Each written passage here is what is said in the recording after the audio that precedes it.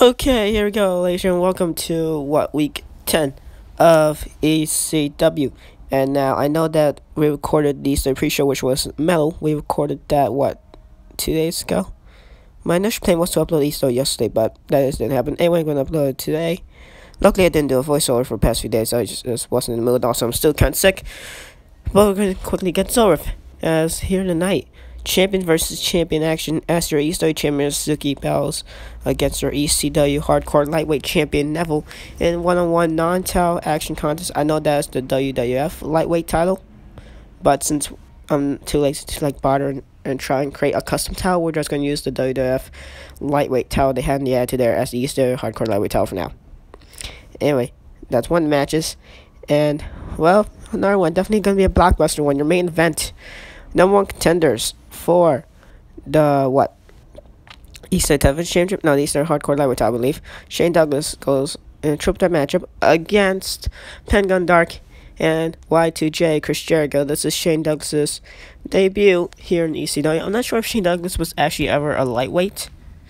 Well, you know, like the standards of the weight class, I guess. I was I'm not fully sure on that one, but we're just gonna put him inside a triple threat just for use putting. Also, we're gonna have a whole lot of debuts as you guys have seen in this thumbnail. We got Christopher Daniels, we got Low Ki, we got Keith Lee, and we got Shane Douglas. Four new superstars who are um, coming over here to ECW as one of, those, one of those debuts happening right now.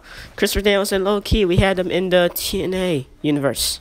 No, not TNA universe. Um, well, of course TNA because they were a part of TNA roster back then, but we did have them a part of the GWE universe. I believe Christopher Daniels had an Intercontinental shot against Finn Balor in the GWE universe mode we used to do. So, yeah, that was cool. And Low Ki, I believe he got a Cruiserweight title shot against Rey Mysterio in that universe, and it was both at the No Surrender preview, I believe. I did delete some matches from it due to copyright, although I could have just not worried about since it was deadly copyright, and I've realized that now. So no way I could cover that, I guess. So that's that. Sadly, uh, as I'm trying to see the rest of the match card. Of course, we have the BWO, the Blue WO, also known as Steven Richards, and the Blue Meanie. Of course, they are a tag team. They have not been doing well. We haven't we we haven't had them all that much here in ECW. Most because ECW probably has, I think, to me, the most stacked roster. I base off what I think each superstar would do and what their role would be for each um, universe, stuff like that. So, of course, we need some ECW originals on ECW, in which we do. Doing ECW original, I believe we don't have on ECW is Rhino. He's busy doing some with Heath Slater, and they're a tag team over on SmackDown. So that's that.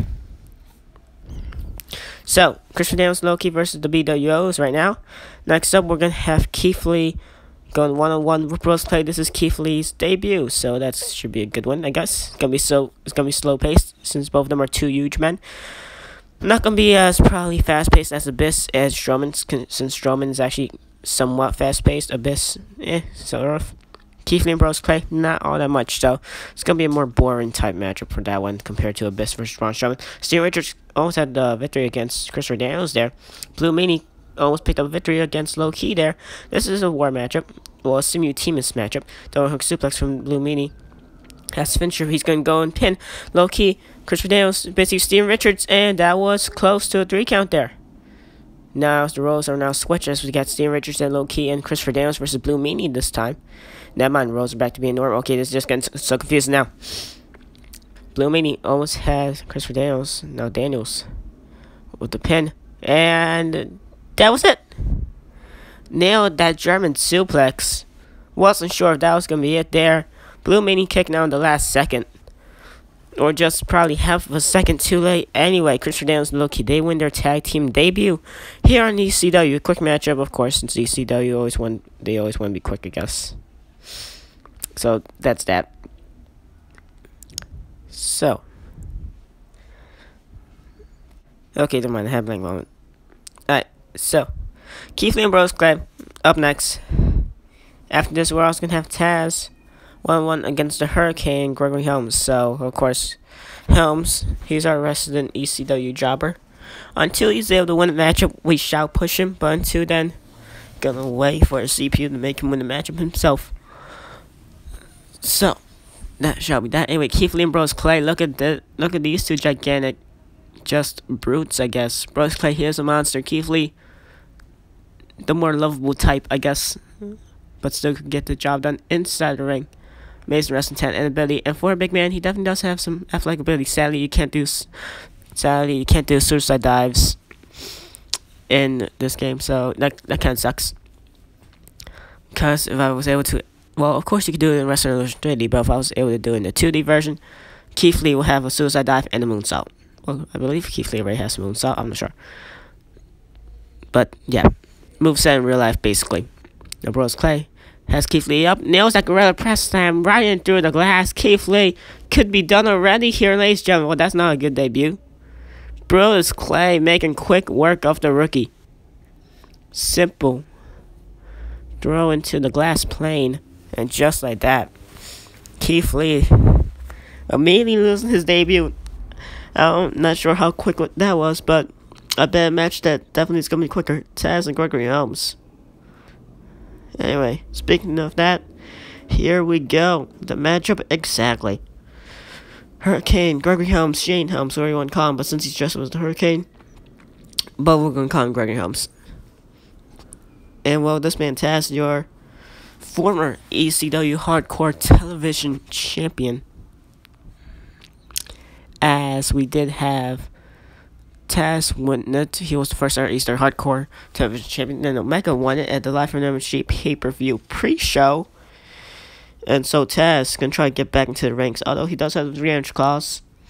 Has, he has not used it yet, but here tonight, face off against Gregory Helms. Let's see how long Helms could survive here, and if he can survive any longer than Keith Lee. I'm not even sure how long that matchup was, or how short it was. But that's that Taz has him up and nails that Samoan drop into a Bridget suplex. Gregory Helms through the glass plane, and wow, this glass plane no mercy being shown by the glass. Brodus Clay EC defeats Keith Lee with that Taz. That's the same thing with Gregory Helms. I believe that Taz and Gregory Helms matchup was super duper more quick than the other one. Than Lee versus Brodus Clay. Well, good thing we now added five matches back into East ECW. Before East ECW started off with five matches, then we shrunk it down to four just for use of doing something innovative, I guess. But then we've risen it up back to five just for use of getting of getting longer episodes. But as you see here, it's usually up to the twenty minute time limit even with the five matches, like the like for when we did four and stuff. So yeah, that that's kind of bad. But anyway, here we go. Champion versus champion action. Neville, your Eastern Hardcore Lightweight champion against Eastern champion Minoru Suzuki. Suzuki, he is still a newbie here in ECW, but he has already won the Eastern championships. That says whole lot stuff. So yeah, stuff in itself immediately making a statement as soon as he came here. Immediately getting the title shot and immediately winning the title against Baron Corbin. So that's that. Anyway, now Neville, he's actually had more matches and more wins than Minoru Suzuki. Well, Minoru Suzuki he has won, I believe Minoru Suzuki has won all his matches here in East ECW. Well, besides the the house show that we did with the Cruiserweight Champion from SmackDown, Seth Rollins, against well your East ECW Champion Suzuki Rollins, he won that one. So SmackDown defeated ECW on the house show. But the house show doesn't have no storyline, so this necessarily doesn't count to no storyline wise things for that. Until we probably get up into like bragging rights or something like that. Or background or Survivor Series. So we're gonna book that I guess. And you know, Neville has Suzuki stunned, nails to Hurricanrana. This one could maybe be it probably no, only one count. Suzuki. More tougher. Then Neville probably thought they're mainly going for a pin after her cry, or that, or that, or he was just desperate. He knows he's got to put away Mr. Suzuki very fast here. Suzuki ain't necessarily, ain't necessarily one of the good guys here. If anything, very dangerous. Now, if anything, I would say he's a tweener. He's not a face. He's not a heel. I would say he's a tweener. He's in between a face and a heel but necessarily a very bad attitude, very dangerous. You could legit be scared of Minoru Suzuki in real life, to be fair. As until that Lion Tamer. No, he quickly got out of that. I'm not sure if him and Chris Jericho had a matchup here in East Side. I think I think they've met in like a triple threat or fatal four matchup. And no contenders matchup for some, I think. There we go, Suzuki needs to watch out for Noah as Stewart there the chair that Neville has. Suzuki he could get he could grab that other chair. Also table in the ring, but now Neville upper hand on Suzuki until Frick for that. Remember, no rope breaks. This is ECW. Everything hardcore, everything extreme. So that's that. Now Suzuki, he actually was he was gonna hit Neville with that steel chair. Now Neville has him up, nails that power bomb into a Bridget suplex. Can this one be it? Neville almost had the victory. Kick out too. Suzuki, very tough competitor, which is why he's their Easter champion. Almost had that Dragon Sleeper type suplex, I think. I thought that was gonna be a regular Dragon Sleeper. Turn DT from Neville to Suzuki. Suzuki's head bouncing straight off the steel chair, and the red arrow by Neville. Pin him. He did not pin him kid, what are you doing? Well, of course, Suzuki's a veteran in wrestling. Neville, not necessarily all that much a rookie. He does have experience, but, you know, just in the fact that, I don't, I don't know, I had a point. But now he has been here longer than Minoru Suzuki, here in ECW wise. But I think our wrestling promotion wise, Suzuki's been here longer, I guess. Neville until Camel Clutch. I remember Suzuki. Suzuki not doing so well in this matchup, surprisingly your ECW Hardcore Lightweight Champion, bringing the fight to your ECW Champion. See their Suzuki Cares back suplex. Just like that, this one Suzuki could be as dangerous when his opponent is grounded. Dangerous submission holds like that Lion Tamer that he now has applied to the man that Gravity forgot Neville. But of course, Mr. Suzuki making sure that Gravity does remember Neville as he's making sure that Gravity keeps Neville grounded and away off of those ropes or turnbuckles. Or just away from off his feet and making sure that his feet stay on that mat in general. Basically, what Minoru has to do throughout this matchup. Now, her crown from Neville. Like I said, high flying ability. Suzuki did not keep Neville off his feet. Well, he did not keep Neville's feet onto the mat. Once Neville's feet leaves that mat, what if it's just a simple jump like that miss shooting star press? The Avenged Crazy come and see right there an explosion. Well, that was something. Suzuki, he landed right through that table. And Neville, he just went flying on the outside of the ring. Suzuki, he's up. Neville, he's also up. Ladies and gentlemen, both these men, no selling that. They quick, they got up in quick type fashion, I guess. And now a camel clutch from Neville. Suzuki he almost countered into that back suplex until now countered midway of that said back suplex. And now a Dragon Sleeper suplex from Neville into the pin on Suzuki. Suzuki kicked out one. Didn't even feel the effects of that at all until sharpshooter now. Neville, precarious position. Not doing so well. But he does get out of it. Suzuki now. Oh, never mind. Suzuki got caught. Now, well, I was about to say a chokehold from Suzuki, but then now easily countering. It's going to be a little bit difficult to call the action with those kind of quick counters. Fisherman suplex from Neville. This is a hell of a matchup so far in Bulldog. Neville. He's doing very well in this matchup. So is Suzuki, but at this point, it's pretty back and forth, pretty lopsided at some points, where either Neville just is gonna make Suzuki look like a jobber, or a job, or um, not a jobber makes a jobber look like a jobber, but um, Suzuki will make Neville look like a jobber. And ladies and Neville, did he make Suzuki tap out? Ladies I think Neville just did. Your ECW Hardcore Lightweight Champion has just defeated your ECW World Heavyweight Champion. Neville has defeated Minoru Suzuki. Suzuki not necessarily having a good week here in Universe mode. Lost to Cruiserweight Champion Seth Rollins in that house show, but of course house shows they will have no storylines that won't go into Universe mode. It's just for use of hand matches. But this one will go into a storyline, hopefully. Or that was just a one off, we don't know. At least I don't know yet. I don't know. Do I? I think I probably booked this ahead in advance of these results. Yeah, I have. Never mind.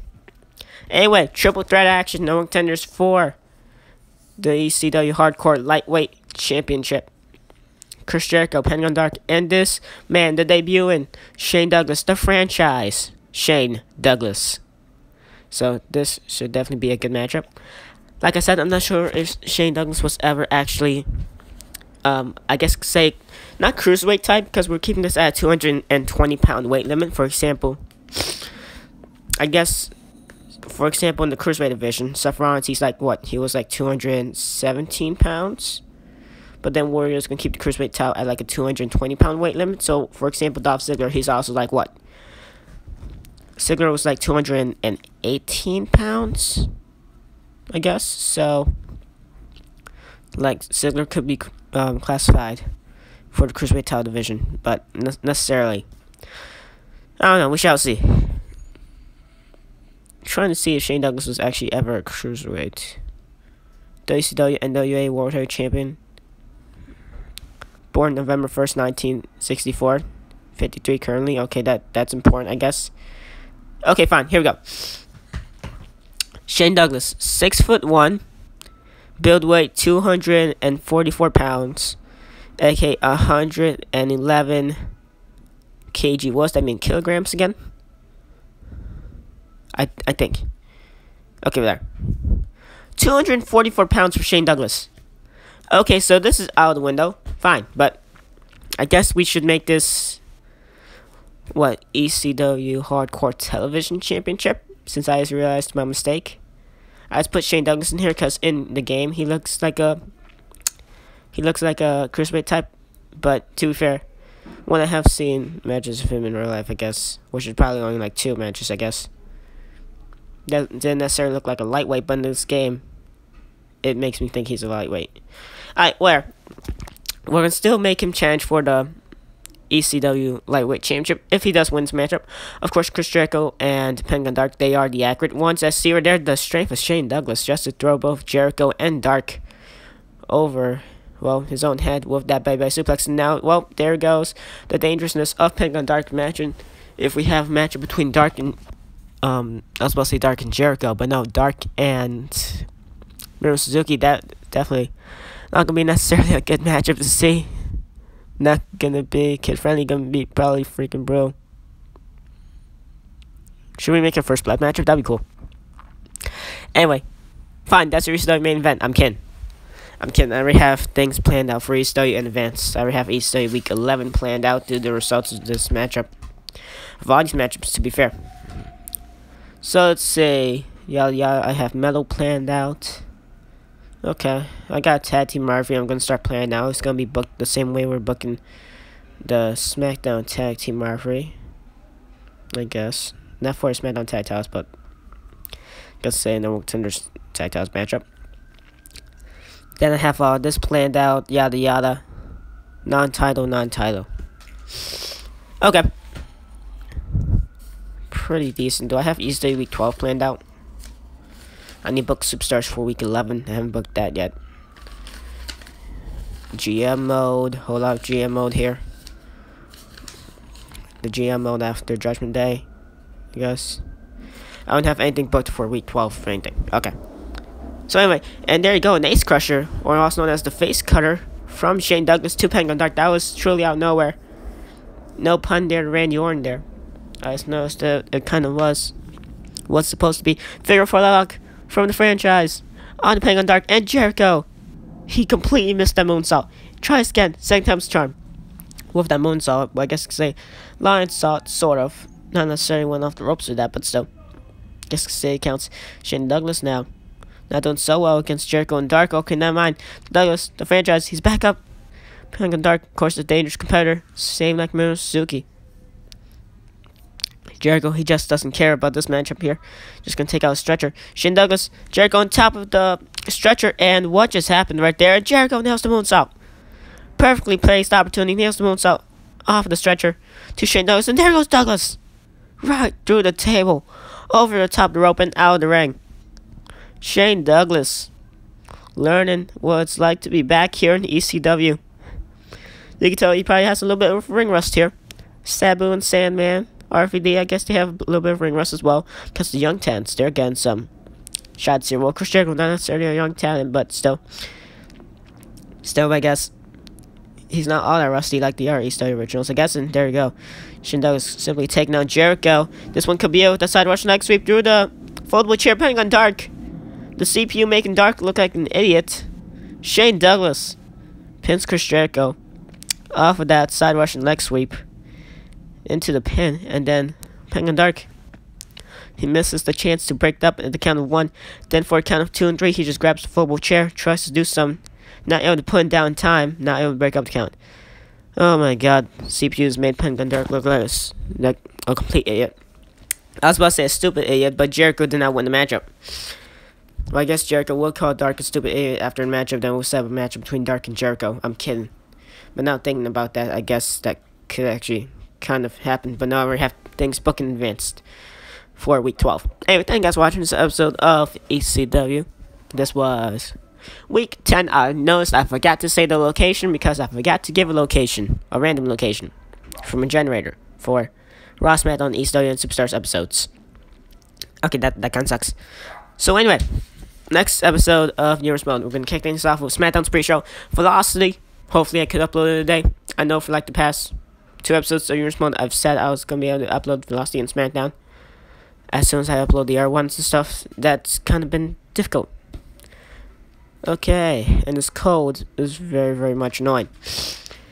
Okay, anyway, so that was it. Next episode of Nearest Mode will be Velocity, then SmackDown, then Superstars, and then the same thing all over again as we're kicking things off with Raw Week 11, and we're gonna have Heat kicking off us for Raw, then the regular Raw, then Metal, then ECW, then Velocity, then SmackDown, stuff like that. Superstars, all over again, stuff like that.